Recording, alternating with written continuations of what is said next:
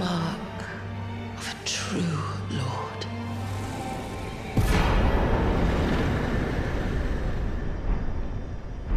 Oh, dear Miquella.